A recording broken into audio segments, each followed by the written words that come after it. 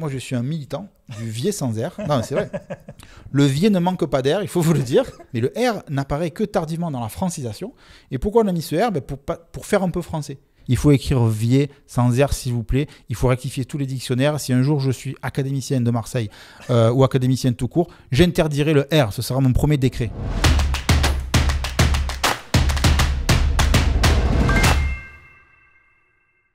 Médéric, bonjour. Salut.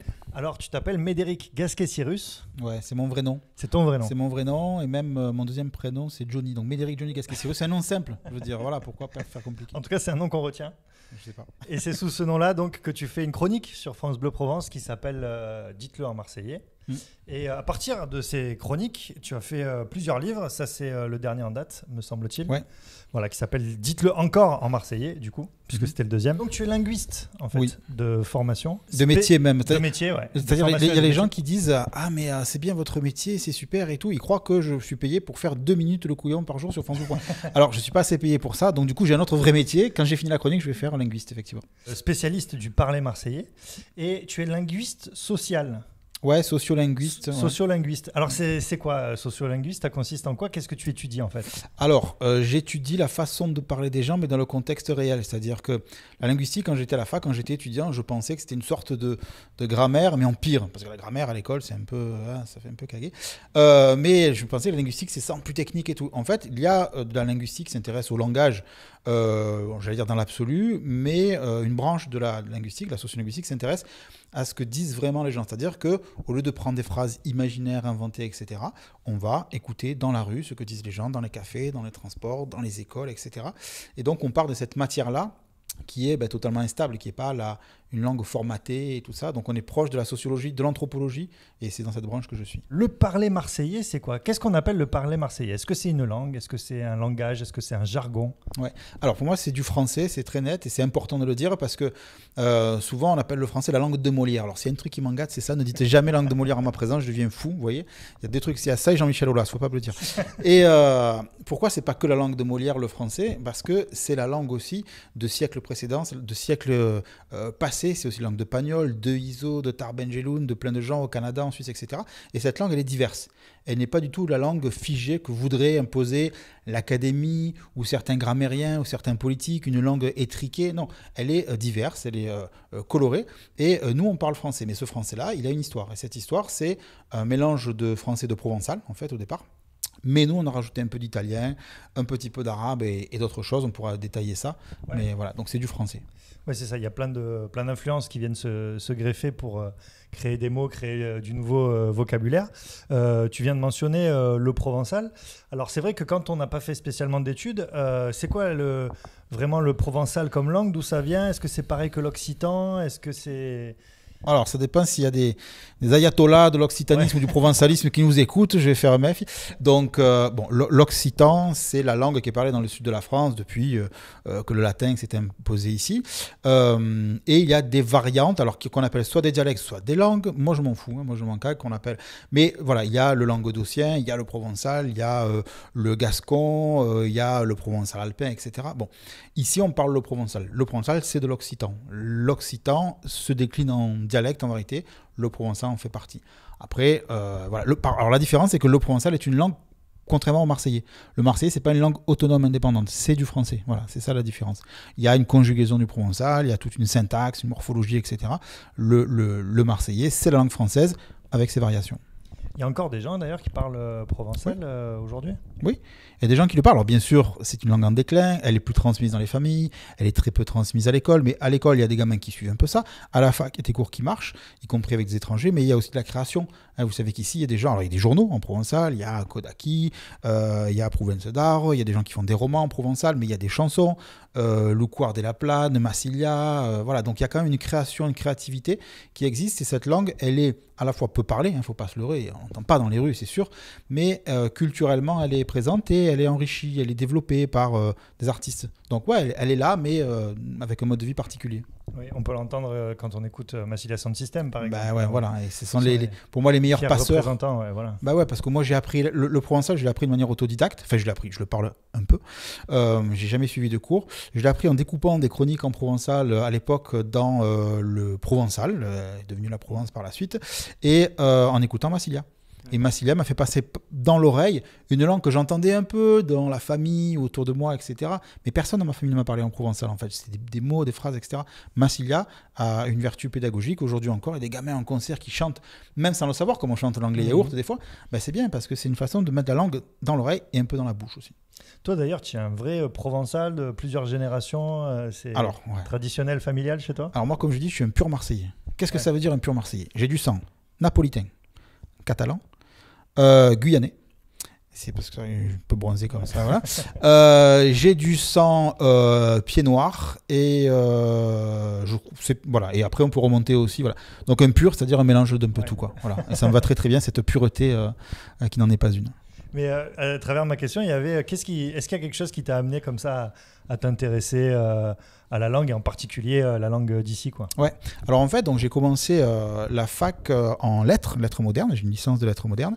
Mais donc, en fait, je voulais travailler au milieu des livres. Je savais pas ce que je voulais faire, pas forcément prof, mais moi j'ai besoin d'avoir des livres. J'en ai porté là. J'ai besoin d'être entouré de livres. Donc on m'aurait dit, tu fais bibliothécaire, tu fais documentaliste, tu fais prof, tu fais journaliste, ça me va, voilà.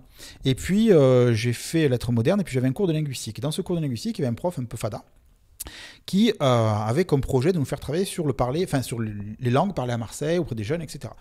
Et je me suis dit, bah, tiens, la linguistique, justement, c'est pas ce truc cagant, euh, voilà, qu'on étudie. J'ai peut-être des collègues linguistes qui, écoutent, donc euh, c'est intéressant aussi. Et donc, on a travaillé effectivement sur le terrain. On a travaillé sur la plaine, sur la, chanson.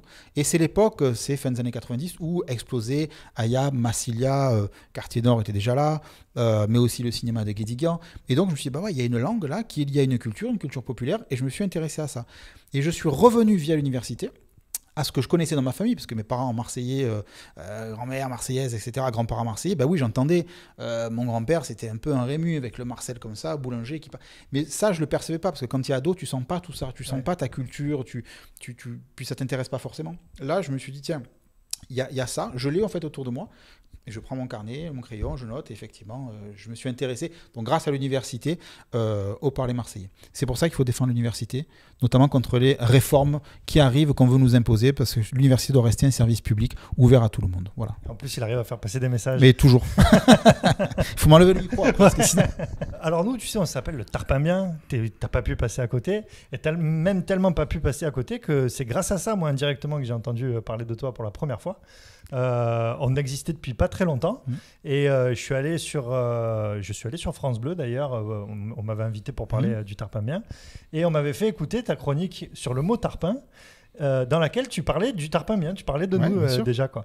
Euh, alors ce mot tarpin, il, il vient d'où? C'est quoi? Qu'est-ce qu'il exprime en Marseille? si je pouvais trouver l'étymologie de Tarpin, je serais riche et célèbre parce que, parce que non, c'est un mystère, on ne sait pas en fait. Et quand on ne sait pas, on le dit. L'étymologie, c'est compliqué parce que si on n'est pas là au moment où un mot apparaît, naît, etc., c'est compliqué. Euh, Il y a des hypothèses, il y a des pistes. Aucune pour moi n'est satisfaisante à 100%. Donc je ne sais pas. Il y en a qui disent que ce serait une sorte d'inversion de pétard. Tar- Alors, en, en marseillais, quelqu'un pourrait dire quelque chose comme Oh, il y avait plein de monde là, il y avait tard plein de monde, ça. Donc peut-être une sorte de déformation. J'y crois pas trop, mais c'est une hypothèse. Voilà. Euh, tarpé, aucun rapport. Parce que d'ailleurs, vous êtes très sage ici, on ne fume pas de substance, hein, il y a pas de farine. Ça sent la farigoulette, mais c'est tout. Voilà. Donc, non, je, je, je sais pas, mais pour quelque chose comme pétard qui est plein de, tard plein de trucs, c'est possible, mais j'en sais rien. Mais personne n'a cette étymologie à ce jour. Si vous l'avez, vous m'écrivez. On fait une émission spéciale, Ouais. si on le trouve. Ce qui est dingue, c'est que, alors nous, ça fait 5 ans qu'on existe, et tu imagines bien que des, euh, des définitions ou des propositions, en tout cas, euh, on en a reçu euh, des, des dizaines, quoi. Alors les gens, ils sont tous sûrs de savoir. Alors il y en a qui nous disent que c'est du gitan, il y en a qui nous disent que c'est, euh, je sais pas, que c'est du vieux marseillais. euh, euh, voilà, on a, on a un petit peu tout. Euh, je suis allé un peu chercher sur le net voir ce que ça Mhm. disait. J'ai trouvé que c'était peut-être du calo. Alors je savais même pas ce que c'était, Ouais. mais on dit que c'est une- un mix de langue romane et de romanie. Alors en fait, le calo, c'est euh, donc les, gitans, pour se remonte, là je vais faire le prof de linguistique, euh, la, communauté euh, qu'on appelle gitane, ils sont partis d'Inde au départ. C'est une communauté qui vient d'Inde, qui parle une langue indo-européenne, le romani. Et en fait, c'est très proche du hindi, etc. au départ. Et puis après, ils ont connu des migrations, parce qu'ils ont été chassés d'Inde il y a des siècles de ça. Et ils sont passés par deux chemins, par l'Europe, l'Europe centrale, donc les bohémiens, tziganes, etc., qui sont arrivés en Europe. Et puis après, il y en a qui sont passés par le sud, et qui sont passés notamment par l'Espagne. Et ceux qui sont passés par l'Espagne, donc, euh, euh, par notamment le, le. Donc, euh, c'est pour ça que c'est différent de, par exemple, le, le- le- le- les langues qui sont parlées dans les, en Allemagne, en Italie, qui sont des langues différentes, qui sont influencées par, l'allemand, par l'italien. Donc là, c'est influencé par l'espagnol. Et alors, c'est possible. Il faut que je cherche. il faut que je cherche. Écoute, peut-être qu'on a un début de, de réponse. Oui, ça, me donne sur, du euh, boulot. Je trouvais ça sur le net. Mais bon, euh, c'est rigolo. Voilà, on a des anecdotes, on, on en a plein. Mais tu disais, euh, voilà, ici on fume pas et tout ça. Mais un jour, il y a un mec qui nous a dit ça. Il nous a dit, mais vous vous appelez comme ça euh, parce que vous fumez des tarpins? Je te jure, il nous a dit ça, le mec. Mais c'est mieux que fumer des parpaings. Que Oui. tu fumes des parpaings, tu vois. Le parpaing mien, c'est l'émission des maçons. Oui, Donc, Mais euh, tarpin, c'est moins intéressant parce que c'est un mot récent euh, à l'échelle de l'histoire du, du parler marseillais, parce que ce parler marseillais, il est né au milieu du 19e siècle, donc il a quand même une certaine histoire. Ce mot tarpin, moi, je l'ai entendu aller dans les années 2000. Donc ça fait maintenant bien 20 ans qu'il est là. Mais 20 ans, c'est jeune pour un mot. Et c'est le mot qui a connu la plus grande euh, popularité sur un court terme, parce que je me rappelle quand je faisais des chroniques ou des conférences il y a, il y a 20 ans, je disais ce mot que j'avais entendu, voilà. Peu de gens le connaissaient. La plupart des gens ne le connaissaient pas. Maintenant, je fais une conférence euh, avec notamment des personnes d'un certain âge, etc. Elles disent oui, mes petits-enfants le disent. Mm. Donc ce mot il est tellement populaire qu'il est devenu l'un des mots emblématiques du parler marseillais. Et euh, bah, votre, votre média s'appelait le tarpin, c'est parfait parce que ça correspond bien à, à, bah, ce côté moderne du, du Ouais. parler marseillais. Donc bi- bien choisi. Merci, c'est pas moi qui l'ai choisi. On rendra hommage. C'est peut-être du coup l'occasion de faire un petit peu un, un petit tour des mots les plus connus. euh, J'ai envie de dire voilà, même les, les mots que même les Parisiens connaissent parce que ils sont Même les tellement Parisiens, c'est emblématiques. euh, voilà. Euh, par exemple, les mots peu cher, ça, ça- ça vient d'où ça? Ouais, alors souvent ils l'emploient mal par contre, peu cher. Alors peu cher ils le connaissent, mais ils l'emploient mal. Par exemple, ils vont dire peu cher à, à, à toute sauce, genre peu cher l'OM a gagné, etc. Non, mais Ah non, pas peu cher l'OM a gagné. ouais. Non, mais souvent je suis frappé par ça. Ils n'ont pas compris le, le sens. Ah oui, il croit que c'est juste un, un mot qu'on met euh, à- devant tout quoi. Voilà, une interjection Ouais, une banale. interjection, non, peu cher, il a un sens très précis. et C'est vraiment, quelqu'un te fait de la peine, tu as de la pitié. Donc euh, voilà. Euh, Il y a Fada, qui est national maintenant. Évidemment. Euh, Minot, depuis longtemps, passé en français euh, commun. Euh, Qu'est-ce qu'il y a d'autre aussi Ouais, Il y a des gains évidemment. Alors dégain, c'est le premier mot que les étrangers apprennent. hein. Oui. Ça, c'est il y a plein d'anecdotes là aussi, mais c'est vrai, j'ai entendu ça plein de fois. C'est le Parisien qui demande c'est qui des gains. Voilà, parce qu'il était tellement partout. Il y avait gains, des gains. bon. Euh, Dégain, c'est l'un des mots emblématiques. Euh, Il y a Cagole aussi. oui, qui alors elle aussi, elle est devenue nationale, internationale aussi. Internationale. Ouais. Il y a eu des articles dans les journaux suisses, anglais euh, là-dessus. Après, la- le, le mot est marseillais, mais la cagole, le phénomène est international parce que Ivana Trump, par exemple, la femme Oui. de Trump, c'est une cagolasse, on peut le dire. ouais, voilà. Et c'est peut-être là le début de tous les mots d'ailleurs. mais euh, non, il y a effectivement il y a une dizaine de mots comme ça qui font partie du fond commun, on va dire, et que tous les Marseillais de toute catégorie sociale peuvent employer, y compris des minots qui ne vont pas employer beaucoup de mots comme ça. Mais péguer, par exemple, Ouais. euh, voilà, ça c'est un mot que tout le monde va employer ici spontanément. Euh, de langue aussi pour Ouais. dire euh, tout le temps, en permanence, etc. Donc voilà. Et, ces- et ces mots-là ne sont pas forcément perçus par les, les étrangers parce qu'à part ces quelques mots très connus au niveau national, ils vont pas sentir des petits mots que j'ai entendus juste là avant de venir. TV, par exemple. Ouais. Quelqu'un qui dit TV, j'ai fini la journée. Et, et ça, tiens, vient en provençal littéralement. C'est des tout petits mots que les gens ne, ne- ne perçoivent pas forcément et nous on les dit euh, de langue. Oui. Et c'est vrai qu'il y a- alors, il y a cette catégorie euh, de mots qu'on dit euh, de langue. Et alors moi, j'ai même noté quelques mots. C'est des mots que moi, je- j'employais. Et en plus, je suis pas spécialement issu d'une famille très provençale. Mmh. C'est pas grave, tu es l'enfant dont- quand même. ouais. Mais dont j'ignorais totalement que c'était des mots de chez nous, en fait. Mmh. C'est des, des mots courants. Et par exemple, le mot cagnard, tu vois. Ouais. Et cagnard, en fait, c'est un mot de chez nous. Et Ouais. ils le disent pas ailleurs. Mais Ah ouais, en fait, c'est c'est le, le soleil qui écrase. Ouais, c'est ça. En fait, c'est un lieu au départ au soleil, c'est-à-dire que il abritait du vent au départ. Et maintenant, nous, de manière plus simple, c'est le gros soleil qui tape. Quoi. Ouais. Tu en as un autre aussi, c'est pareil. J'ai appris au détour d'une interview que j'ai faite euh, d'un artiste que tout le monde disait pas ça, mais euh, aller faire l'essence. Ah oui.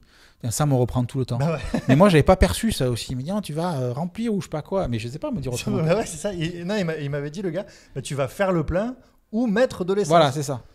Et non, moi, je vais faire l'essence. Moi, je vais faire l'essence. Sinon, j'avance pas. ah, c'est comme le, pneu, par exemple. On dit toujours, vous dites, non, il n'y a pas de. Non, mais moi, j'ai une explication très simple là-dessus. Pourquoi il faut dire pneu? Parce que si tu dis pneu, pneu, rien que quand tu le prononces, tu entends bien que pneu tu as l'air qui s'échappe, tu vois. Alors si du pneu, tu es bien gonflé, 3 barres et demi, tu peux rouler. oui, voilà. sinon, sinon, tu es à plat. Tu fais de l'essence, tu mets les pneus et, c'est bon. Tu mets les pneus, exactement. Euh, dans cette catégorie-là aussi, il y avait euh, se caler. Je me suis calé avec mes potes et tout ça. Ça, visiblement, j'ai lu que c'était de chez nous, qu'on ne le disait pas forcément. Je ne sais pas si ça c'est sorti d'ici, mais effectivement. Et, euh, et, un truc, c'est vrai aussi, pareil, c'est le verbe mener qu'on emploie pour amener ou emmener. J'ai mené, j'ai mené les petits à l'école. Ouais. Et ça aussi, alors c'est mon voisin parisien parce qu'on voilà, on a tous des amis parisiens, hein, euh, voilà, et euh, il en faut un quoi. Et par contraste, celui lui me fait ressortir tout ce que je percevais pas. et un jour, il me dit arrête de dire mener, mener, machin. Ou... Et je dis quoi? Mais il m'a fait cette remarque là. Et ça, c'est très subtil parce que ça fait vraiment partie des choses qu'on calcule pas.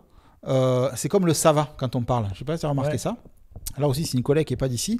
On était au téléphone, puis je dis bon allez, ouais, ça va, ça va, ça va. Et il me dit pourquoi tu dis ça va? Ça va, pour nous, ça veut dire on va terminer la conversation. Et elle me dit, mais oui, ça va. Donc euh, voilà, mais ça, je m'en étais pas rendu compte. Et, c'est, et là, vous voyez, c'est, ça qui fait partie de l'usage populaire, spontané. C'est ça qui m'intéresse. C'est ces petits trucs qui sont pas forcément mis dans les dictionnaires parce que ça va, c'est du français, mais c'est des tournures de phrases, des tournures d'esprit aussi un peu qu'on peut analyser. Il y a l'homme de la cagole dont on n'a pas parlé, c'est le cacou. Le cacou, ouais. Ou le, ou le kéké même. ouais, aussi. Ouais, ouais. Et le kek, euh, le kek euh, serait aussi d'origine marseillaise, hein, le... parce qu'on l'écrit parfois C-A-K-E comme un gâteau, mais en fait, euh, l'origine, ce serait la même origine que le ou un peu, c'est le ou en provençal. On a des textes au 19e qui racontent que c'est des sortes de nervis, donc des, des, mecs qui roulent un peu des mécaniques, qui bousculent les gens comme ça, et qui font les, qui font les beaux, on les appelait les kekou en provençal, et c'est devenu par la suite des, des cakes. Des cakes, ouais. Et maintenant tout le monde dit ça. ouais. Et alors moi, il y a un mot que, que j'aimerais te soumettre, parce que je ne sais pas du tout d'où ça vient, mais ça me fait mourir de rire, c'est le Saint-Franc. D'où ça sort ce truc? Le... Ouais. Ben, je pense que c'est parce que tu mets, savais les 5 doigts dans la main. Ouais, mais 5 francs, pourquoi Un franc, pardon. Il y a une explication. Je sais pas. Je sais pas, mais ouais, c'est imagine. Tu as 5 doigts, 6 bagues aussi, pour, comme expression. Je sais pas si tu connais celle-là. Mais ouais, mettre un 5 francs, ben, je sais pas. Je sais pas d'où c'est né. Ouais, euh... je sais pas d'où ça sort ce truc. Ça me, moi, ça me, ça me fait mourir de rire comme expression. Ah, il m'a mis un 5 francs. Ah, ouais. Si tu sais pas, tu as presque l'impression que. Parce que souvent, c'est le minot qui dit euh, Putain, il y a mon père, il m'a mis un 5 francs parce que j'ai fait une connerie. Tu pourrais presque croire que c'est positif, tu vois, qui t'a oui. mis 5 ah francs dans la poche. tu vois ce que je veux dire. Ah on a plein de mots comme ça pour les, pour les, les taquets, les bendets ou en provençal, un pastisson, qui n'est pas un petit pastis. Hein, la schiaf La schiaf, ouais, c'est napolitain, ça, je crois. Je pense que j'ai entendu encore dans le nouvel album d'Ayam, là, il l'emploie à Kenaton, donc je pense que c'est napolitain. Donc, effectivement, on a plein de mots comme ça pour. ces mots, tous ces mots-là, est-ce qu'on peut retracer leur origine euh, Tu vois, même les plus connus, là, dont on a parlé, Mino, Dégain, hmm. Fada. Euh, on a une origine pour tous ces mots-là? Oui, alors la base, c'est du provençal. Alors comment on est parlé marseillais? Ben, Tout simplement parce que en Provence, on a parlé euh, provençal longtemps, c'est-à-dire que jusque aux années 20-30, il y a des gens qui parlaient provençal en ville euh, au quotidien, du quartier Saint-Jean, tout ça. Bon, après, ça s'est vraiment vite perdu. Mais au 19e siècle, il y avait encore des gens dans les quartiers qui parlaient provençal et français. Le français était devenu la langue du travail, de l'intégration sociale, on va dire, de l'ascension sociale depuis la Révolution. Et c'était la langue euh, obligatoire, euh, avec l'arrivée de l'école euh, obligatoire, etc. Donc on ne pouvait pas travailler, s'élever socialement si on ne parlait pas français. Sauf que les gens étaient bilingues, c'est-à-dire qu'ils parlaient aussi provençal. Et qu'est-ce qu'ils faisaient? Ben, Ils parlaient français, mais avec leur accent provençal en fait, avec leur langue provençale dans la bouche. Donc, c'est ça qui a donné l'accent, d'une part, les intonations, le débit, etc., mais aussi ces mots. Donc, quand ils disaient dégung pour dire personne, ben après, ils ont dit dégung. Quand ils disaient des langues en provençal, ils ont dit de langue à quoi peg, ça, ça peg, ils ont dit ça, ça peg. Donc, ça s'est fait tout naturellement, ce glissement du provençal au français. On a même gardé des mots avec la prononciation provençale. Quand on dit le chapeau, le capéo, mm. bon ben voilà, on n'a pas francisé celui-là, il a gardé ça, il y en a plein, le bendeo, je disais, euh, etc. Euh, euh, bon, l'aïol, il n'en a pas changé non plus. Donc il y en a plein comme ça qui sont restés. Et après, il y a une couche de langues italiennes, alors là je dis pluriel parce qu'en fait il y avait des piémontais, des napolitains et des siciliens, donc on a trois strates on va dire de dialectes italiens, mais ce n'était pas l'italien standard, qui ont donné des mots, ça c'est tournant du XXe siècle. Et après, paradoxalement, on n'a pas tant de mots euh, étrangers que ça, je dirais, parce que euh, le marseillais, ça a été un peu du français d'intégration, c'est-à-dire mmh. que les gens au lieu de mettre leurs mots dans le parler marseillais, ben, ils se sont appropriés le marseillais. C'est pour ça qu'on a eu des Arméniens, euh, des Algériens, etc., qui ont employé des mots euh, Ouais. marseillais. Et après, un peu plus tard, oui, il y a eu des mots arabes qui sont arrivés avec les rapatriés d'Afrique du Nord, à partir de 62, où là, on a clairement des mots qui sont arrivés euh, de l'arabe, mais par les pieds noirs. Et ensuite, des mots arabes qui sont arrivés par l'émigration, essentiellement maghrébine, algérienne et kabyle, de euh, bon, les années 70-80, et un peu de comorien de nos jours, de, de un chikomori, euh, avec les- la, la forte communauté comorienne. Oui, on peut citer euh, dans les mots euh, d'origine arabe. Alors, René, alors. René, c'est compliqué aussi. René, il n'est pas arabe, c'est sûr. Ah Il est euh, peut-être euh, gitan lui aussi, peut-être qu'il faut chercher du côté du Calo Ok. aussi, mais euh, pas sûr à 100% de, de son origine. Et c'est compliqué parce que quand il y a plusieurs pistes et que tu as plusieurs spécialistes qui te disent oui, c'est ça, euh, c'est pas une science exacte l'étymologie. Tu Ouais. peux pas trancher tant que tu n'as pas une preuve euh, vraiment, euh, voilà, Mhm. et on l'a pas. Donc René, plutôt, alors pas, pas arabe a pas priori, arabe, alors, ouais. parce que là j'ai demandé à des profs d'arabe, à des arabophones de différents dialectes. Et... Alors oui, il y a Rennes aussi qui veut Ouais. dire purin, mais voilà, c'est- à 80% c'est pas arabe, mais peut-être que ça l'est. Et si je me trompe, c'est pas grave. Encore une fois, c'est pas une science exacte. J'aimerais arriver à, à ce qu'on puisse dire, voilà, on a l'origine Mhm. exacte, mais on l'a pas. Et puis il y a tout un, tout un lexique, euh, même un champ lexical pour désigner euh, euh, le sexe de l'homme, de la femme. Alors, Ah, ça voilà. parler. Alors tout le monde connaît euh, levier. Important levier, comment tu l'écris? Alors, Attention. mais je crois que je vais pas me faire arnaquer parce que, parce que figure-toi que j'avais les, les albums de Massilia avec les livrets Ouais, et j'ai toujours halluciné de voir, ils écrivaient Vier, V-I-E-C-H. oui. Et, euh, et après, moi, je disais à des gens, ça s'écrit comme ça. Ils me disaient, mais tiens, un fou, toi, ça s'écrit avec un R, sinon ça fait Vièche, tu vois. Eh ouais. Alors, euh, quand Massilia écrivait UECH, c'est parce qu'ils écrivent en graphie occitane. Parce que pour écrire le provençal, en gros, il y a deux graphies, la graphie mistralienne ou provençale et la graphie occitane. Ils font ce, ce choix-là. Et du coup, euh, c'est la même chose qu'on va retrouver dans le nom Puech, par exemple, qui en fait veut dire le puits en occitan, P-U-E-C-H, mais on ne le prononce pas. On dit Loupuet et Louvier, donc on ne le prononce pas. Alors c'est une graphie bizarre, j'en conviens. Euh, mais beaucoup l'écrivent V-I-E-R. Ouais. Or, moi, je suis un militant du vier sans air. Non, c'est vrai. Le vier ne manque pas d'air, il faut vous le dire. Mais oui, parce que d'où il vient ce R De rien. Parce que vier, ça vient d'où? Ça vient du provençal. Le provençal, on l'écrit soit de VIE, et on le trouve chez Mistral euh, VIE, soit de VIECH en graphie occitane, mais pas de R. Si on remonte, on voit que ça vient du latin vectis ou vectis, qui veut dire le levier, pas levier, mais le levier, la barre, hein, d'accord? Qui a donné le mot vite en français qu'utilise Rabelais, etc., un gros vite, etc., ou un petit vite, ça dépend. Et euh, ça donnait par la suite le levier. Mais le R n'apparaît que tardivement dans la francisation. Et pourquoi on a mis ce R? Ben, pour, pour faire un peu français. Mais le vier n'a aucun rapport avec le poirier, le dattier, ou voilà. Ou un verbe euh, du premier groupe. ou un verbe du premier groupe. Donc, euh, il faut écrire vier avec un E. Je sais pas où est la caméra. Je regarde où pour la caméra C'est là. là, voilà. c'est là. Je, je- voilà, c'est message solennel. Il faut écrire vier sans R, s'il vous plaît. Il faut rectifier tous les dictionnaires. Si un jour je suis académicien de Marseille euh, ou académicien tout court, j'interdirai le R. Ce sera mon premier décret. C'est important. Le pendant du vier. si le pendant du vier. Oh, joli. Elle est belle, C'est ça. la pachole. Oui, c'est ça. Euh, pareil, alors la pachole, d'où ça vient Comment Alors attends, tu dis la pachonne, c'est le plus vulgaire, parce qu'il y a la mounine quand même au départ, Oui. qui, qui est plus subtile si tu veux. Parce que voilà, s'il y en a qui écoutent cette émission et qui disent Oh, je parle marseillais, oh, je me gratte le vier ou j'aime ta pachole, c'est très vulgaire, attention. ouais, Oui. faut- Ah oui, oui, ça reste des gros mots même. Voilà. Ouais. Euh, Mais mounine, c'est un peu plus subtil, parce que la mounine, en, alors en provençal, déjà, c'est une guenon. Euh, après, c'est devenu un sexe féminin, Ouais. alors pourquoi, je sais pas. Euh, mais euh, c'est un peu plus mignonné, on va dire. Pachole, c'est quand même. Ouais. Voilà, c'est la chagasse aussi, c'est un peu gras quoi. Euh, Pachol, alors, au départ, c'est euh, une sorte. Je, je- je donne l'étymologie. Ouais. C'est une sorte de mélange de, de pâté, de trucs. Enfin, c'est un peu ignoble quoi. C'est un peu. voilà, donc je, je vais m'arrêter là quand même. Bref, mais oui, le pendant de la, du c'est la Pachol. C'est la pacha. Il y a le, le sgeg évidemment. Oui. Euh, Le garoubi. Ouais, le kemb, j'ai entendu. Le kember. Ouais. Ah, je connaissais pas moi comme Ah ça. ouais Je connaissais ben, le chambre, qui est une variante du chibre. Le chibre, ouais, voilà. Mais Kember, je connaissais joli ça. Ah, le kember, ouais. Ah ouais, c'est bien. Mais tu vois, comme ça, tu seras pas venu pour rien. Ah, c'est bien. Et les alibofs, hein, n'oublie pas les alibofs. les Ça, c'est ça le vrai pendant du évidemment, vier, ouais. c'est les alibofs quand même. Ouais. Ou, les, ou les figues aussi. Ou les figues, Ouais. ouais. Alors en parlant d'Alibofi, il y a une super chanson, est-ce que tu connais Agente-moi les Alibofi Ah non, pas Alors du tout. ça, c'est une chanson culte. Le groupe John Eddie Milton et son parc-maître, en 1982, Ok. attention, sort un disque, à l'époque c'était les, euh, les petits, donc c'était les 45 tours. Face A, Agente-moi les alibof, il face B, la boîte à caca, très fin, on est dans la poésie subtile.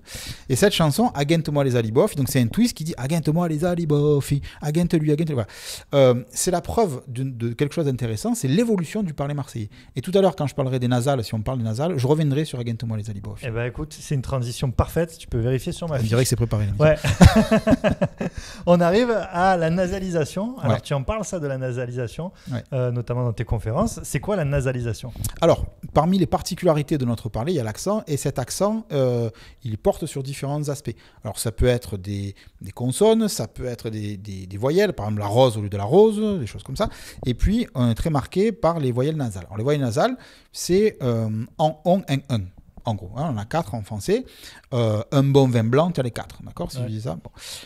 Sauf que nous, ici, on a les, les, derniers à faire une distinction entre brun et brun, par exemple. Bon, ça, c'est un premier truc. C'est-à-dire qu'au niveau des nasales, nous, on ne va pas dire cet homme est, brun, on va dire il est brun, et on va dire un brin d'herbe. Bon, première chose. Et ensuite, les nasales, elles sont particulières chez nous parce qu'on les prononce de manière complexe. On va prendre le mot pain, par exemple. Quand on dit, euh, si je le dis avec un accent plus standard ou parisien, je veux dire du pain. Un, on entend un, du pain. ok? Nous, ça va être du pain. Quand je dis du pain, je peux le dire avec un accent encore plus prononcé. Du pain. Man, donne-moi du pain. Ok? Quand je prends cette prononciation, qu'est-ce que j'ai? Le... Alors, il faudrait presque avoir un spectrographe là pour montrer le... la, syllabe. Donc, il faudrait investir dans le matos. Euh, au début, on ne nasalise pas. C'est-à-dire que, je vais expliquer après, on prononce une voyelle E, du P, E, P. Ensuite, on nasalise ein, pain, et après, on rajoute un petit truc. Donc, on a trois éléments. Une voyelle E, ensuite la nasale ein, et ensuite, ce petit truc que j'appelle le point G du parler marseillais, qu'on appelle un appendice consonantique nasal vélaire en phonétique. Donc, c'est un métier, excusez-moi. Et euh, qu'est-ce que c'est? Ben, En fait, euh, c'est pas un G, contrairement à euh, ce qu'on croit. Euh, tu sais, quand on veut marquer putain, con, etc., on met un G. C'est comme ça qu'on l'écrit. voilà. Et, c'est vrai que c'est juste, mais en fait, on ne prononce pas le G parce qu'on ne dit pas putain, kong du peng. Mais qu'est-ce qu'on fait? On amorce la prononciation d'un G, de la consonne G, mais on l'arrête. Et au lieu de dire putain, on dit putain. Mais en fait, la bouche est prête à prononcer le gueux, mais on s'arrête. Et en fait, ce son-là, c'est exactement le même son qu'on a en anglais dans tout ce qui est euh, parking. Alors, parking, c'est un mot français, mais si je dis happening, etc., c'est exactement le même. doing, voilà, c'est exactement le même. Donc, en fait, on parle bien anglais, quoi. Eh oui. À la one again. Hein, on parle américain, nous. Américain.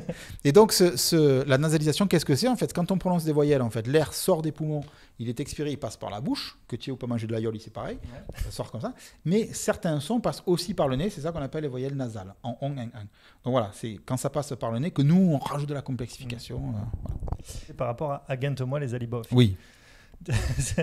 Je reviens. Cette nasalisation. Alors, agent, ça vient du verbe provençal aganta. Aganta, qui veut dire attraper. Bon. Euh, en français, c'est devenu aganté. Hein, voilà, j'ai aganté, j'ai attrapé, je me suis fait aganter par les condés, etc. Bon. Mais, comme on prononce ces nasales de manière assez appuyée, agante, avec certains accents très prononcés, c'est devenu agent. Oh, je l'ai agenté. Oh, qu'est-ce qu'on mange? Tu vois, quand tu parles comme maman, c'est pas maman, c'est maman. C'est un presque. Donc, agent est devenu agent. Puis, on a aussi fait euh, ce qu'on fait sur certains mots, c'est qu'on a enlevé la première euh, voyelle, c'est-à-dire qu'on a gent aussi. Moi, quand j'étais minot, je prenais un caillou, je l'ai genté, j'ai genté quelqu'un, enfin, je ne tirais pas sur les gens, mais genté.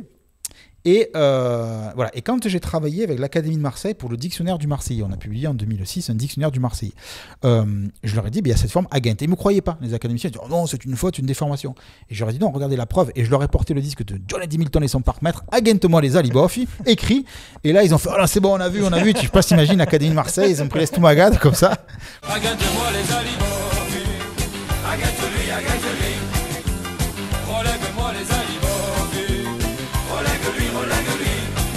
Donc c'est une attestation de la variation, de l'évolution comme ça de, bah, de l'accent. Et en fait, ce qui est intéressant dans notre parler, c'est qu'il évolue. C'est pas, on parle pas le marseillais du 19e. Et d'ailleurs, euh, Auguste Brun, qui était un linguiste, a publié en 1931 un livre qui s'appelle Le français de Marseille. C'est la première étude sur le parler marseillais. On est en pleine époque de Pagnol. Il fait une belle étude sur la façon de parler des gens, la grammaire. À la fin, il y a un petit euh, dictionnaire. Et il y a une petite annexe, un appendice, où il dit voilà le parler marseillais désuet qu'on n'emploie plus aujourd'hui. C'est-à-dire qu'en 31, il y avait déjà un parler marseillais d'autrefois. Et quand les gens me disent Ah, mais on parle plus le marseillais euh, de Pagnol, je dis Ben non, heureusement, on parle le marseillais d'aujourd'hui. et on dit tarpin. Pagnol disait pas tarpin, mais ça reste du marseillais. Mais Pagnol disait des mots qu'on n'employait pas euh, à l'époque de son père. Bien Donc c'est normal. Et c'est pour ça que moi je je suis pas inquiet quand les gens me disent ah ben oui on perd des expressions. Ben on en perd mais c'est normal, c'est ça l'évolution. On en gagne d'autres. Oui, Tarpin, René, euh, Dans 30 ans, ou, Sguinch. voilà, dans 30 ans ou 50 ans, il y aura plein de mots d'aujourd'hui qu'on emploie. Bien sûr. Et tarpin sera un mot de vieux. Et tarpo, On dira oh, le tarpin bien, c'est une émission de vieux ça. Pour rester encore un peu sur cette nasalisation, euh, on peut différencier par exemple un emprunt et emprunt. Oui. Et il me semble t'avoir entendu dire que euh, bah, ça tendait un petit peu à disparaître, euh, cette différence entre Ouais. le 1 et le 1. Alors, pourquoi? Parce qu'on a la pression du standard, c'est-à-dire ce français commun euh, qui s'impose depuis Paris, mais ce n'est pas le français parisien, mais qui s'impose via les médias depuis des décennies. Il a tendance effectivement à influencer ceux qui écoutent et ceux qui parlent, mais qui, qui subissent aussi euh, les profs, la norme, la correction, etc.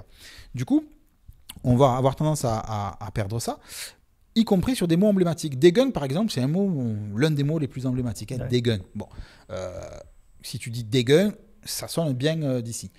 Les minots d'aujourd'hui, la plupart disent dégain. Est-ce qu'on va dire que euh, ont tort? Non, c'est que eux ils subissent cette euh, évolution-là. Et je l'ai même vu écrit dans des livrets de Hayam, dégain, D-E-G-A-I-N. Ah oui, Parce que i- ils écrivent ce qu'ils entendent dans l'oreille, dégain. On craint dégain. crème Alors- des gains. alors, ouais. Alors qu'on a tendance à dire on craint On des craint guns. des gains, ouais. Mais euh, voilà, même ce mot, donc c'est pour dire que effectivement, ce, ce- notre accent est, euh, je vais pas dire menacé parce que pour moi c'est pas une menace, je m'en fous, est influencé Oui. par une façon de parler euh, autre et que ça touche les nasales en particulier et ça touche ce mot-là. Donc ça veut dire la force du truc parce que c'est un mot emblématique, mais lui-même il subit, il subit ça. Après, c'est un peu normal qu'avec subit médias- sa réta, pardon. J'ai un super jeu de mots qui vient d'arriver, excusez-moi. Alors, tu sais qu'ici, euh, on est fan de calembour. Ah putain, alors, Et, pardon. ouais, Ouais, je, ouais, ouais. donc, euh, donc, tu peux y aller. Ah, ben, je vais y euh, aller, tu- hein. Tu me feras plaisir. hein. Allez.